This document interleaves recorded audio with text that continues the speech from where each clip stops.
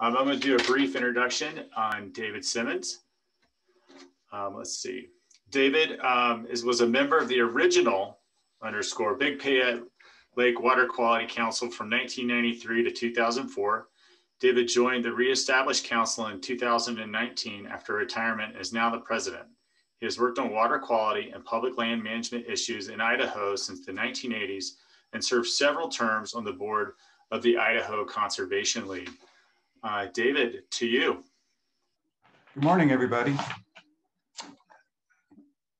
Uh, thanks for the introduction, Gary. And uh, on behalf of the Big Pay Lake Water Quality Council, uh, thanks to everyone for taking an interest in the lakes and the watershed. Uh, and um, let me get my uh, slides going here.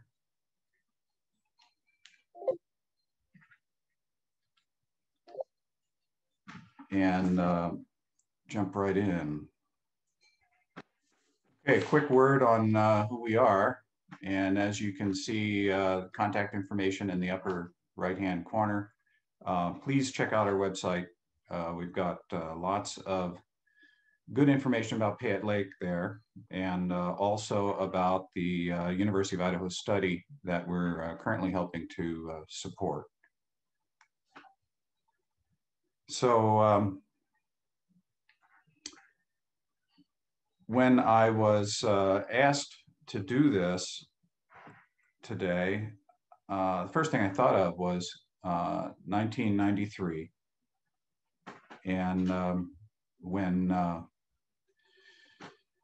Davis's cows uh, walked down to the reservoir and, uh, and took a drink and keeled over dead. But um, because that's when it seemed like people really started taking an interest in water quality.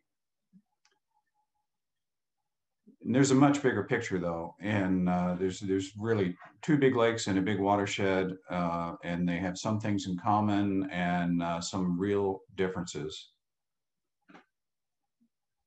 So I'll boil it down to three factors that set the stage for water quality uh, geology, climate, and people. Um, very simplistic diagram, but uh, um, you know, this is just to help us get our heads around it.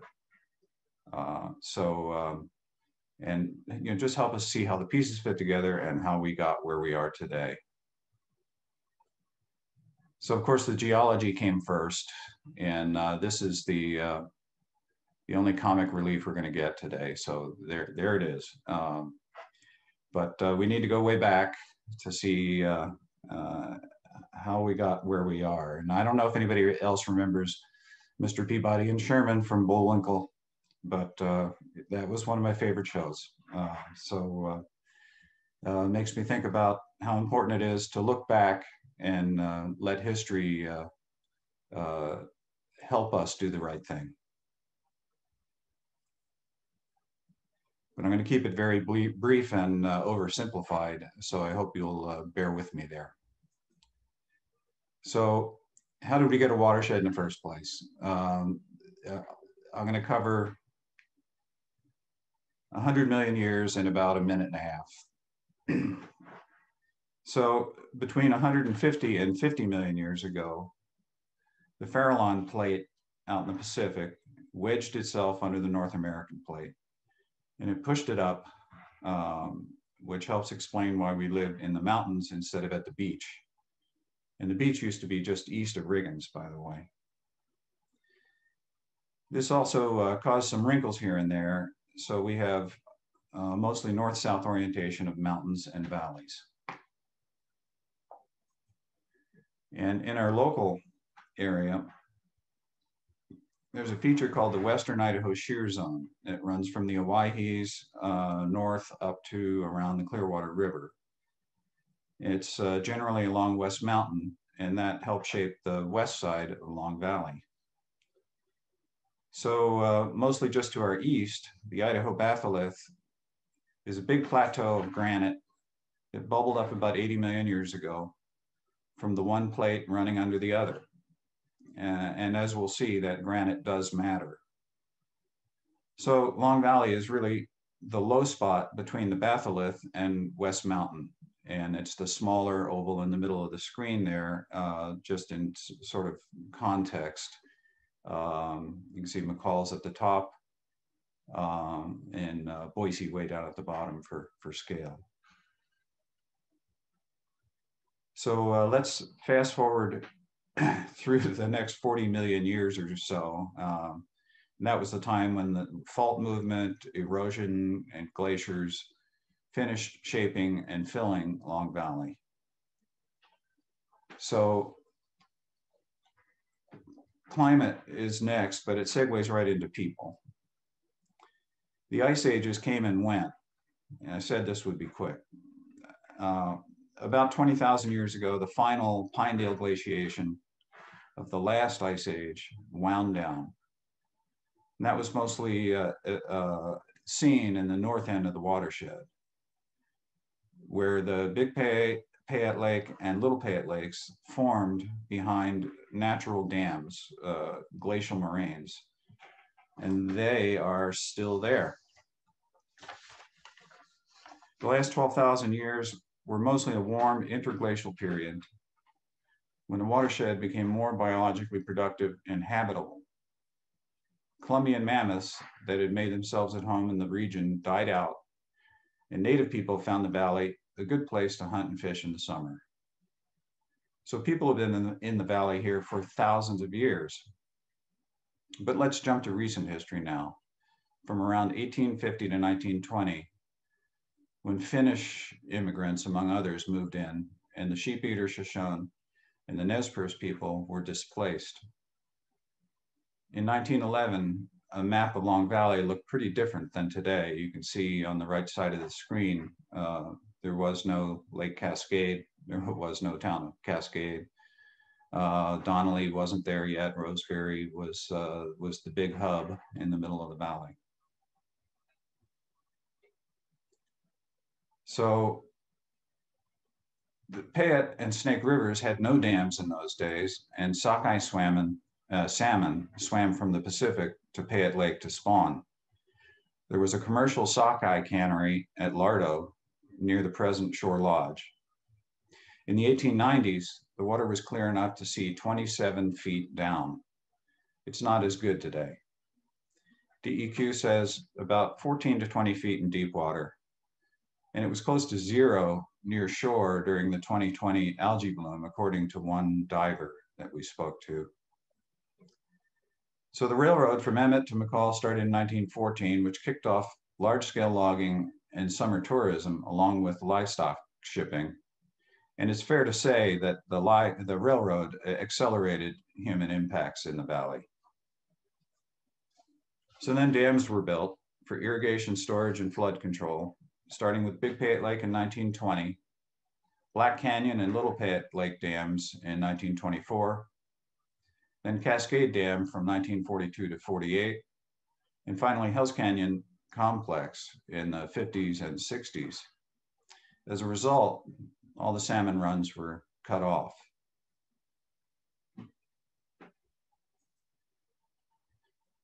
By this point, the watershed was pretty different from any time in the last 10 to 20,000 years. The shallow Cascade Reservoir filled up over good soil with lots of nutrients, got more nutrients and sediment from erosion of granite soils in the watershed. You remember that batholith from 80 million years ago. Uh, from sewage effluent, agriculture, and a fish hatchery. Eutrophication, uh, that is nutrient enrichment plant and al algae overgrowth and oxygen depletion quickly got started. In less than 50 years, toxic algae blooms began to kill cattle and fish. Well, that got our attention. Uh, this timeline for Cascade Lake covers a lot. But let's just say that studies were done and the lake was listed by EPA for failing to support beneficial uses under the Clean Water Act agencies and local people did and continue to do lots of projects to improve water quality. That's all good, but the lake is still eutrophic it suffers from annual toxic algae blooms and public health advisories. Shoreline and upland erosion, water sports, development, nutrient recycling, and a war warmer climate make for an uphill battle.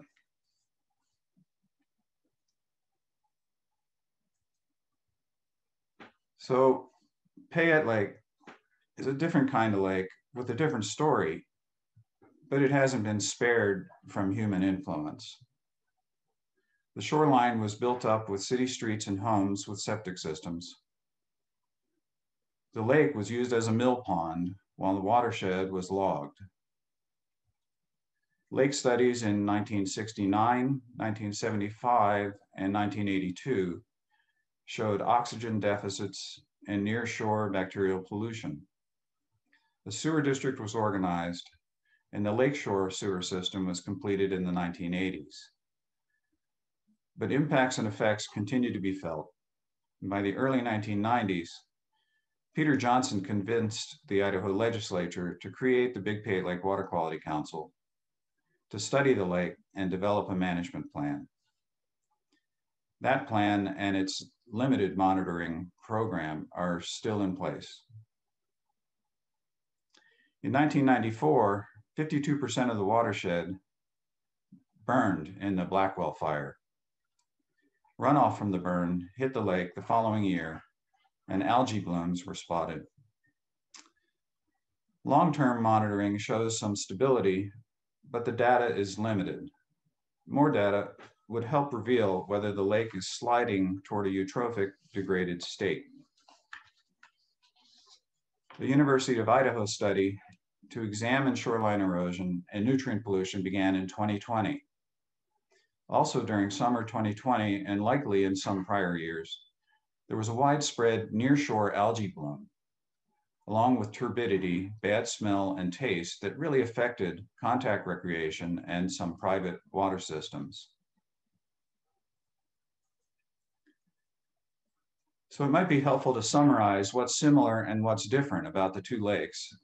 Um, so let's take a quick look. I'm not going to read you that whole list, but hum, somehow all of these factors tie into geology, climate, and people.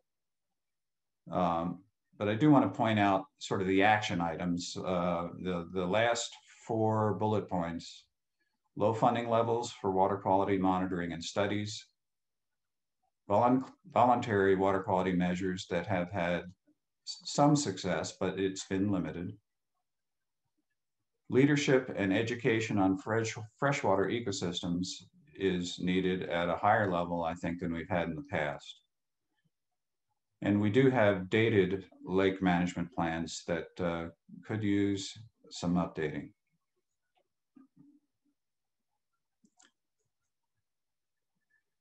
So there are a lot of differences between the lakes as well, and I'll, I'll, touch on those briefly. The history, characteristics, and impacts uh, for the two lakes uh, diverge somewhat.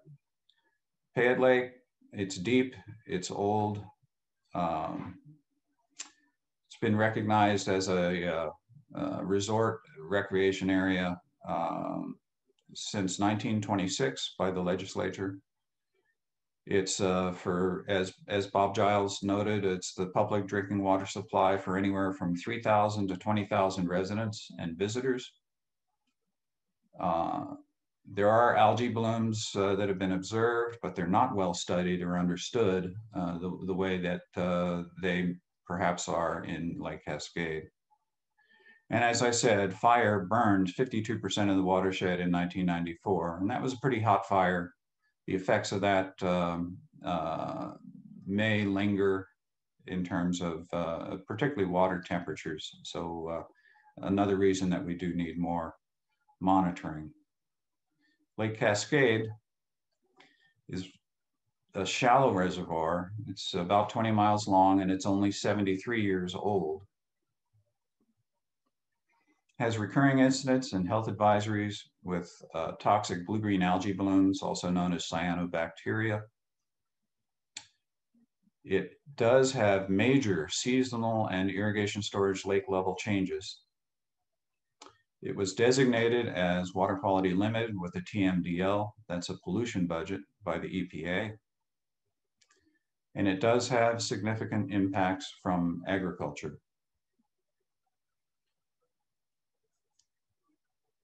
So where does that leave us? There are elephants in the room and um, that I, I, knew that mammoth would come in handy. Um, but to be way too simplistic, the elephants in the room are geology, climate, and people. Uh, for geology, the watersheds are mostly uh, erosive granite. The sediment and the nutrients go downhill. The lakes are at the bottom of the hill. For climate, it's the effects of a warming climate. We have uh, changes in water temperature, quantity, and timing that are affecting the lakes. We've got more and bigger wildfires and changing vegetation in the watershed. And people, um, no offense uh, to any person or elephant on, on this, but uh, we're one of the elephants in the room. We build dams, we change the landscape, we put the watershed to work, and we play on the lakes. But we may use history and science to understand the facts and avoid repeating past mistakes and we can choose to solve even very large water quality problems, or we could just give up. So with that, I will uh, turn it back to Gary and um, I want to thank you all for listening. I hope that was useful.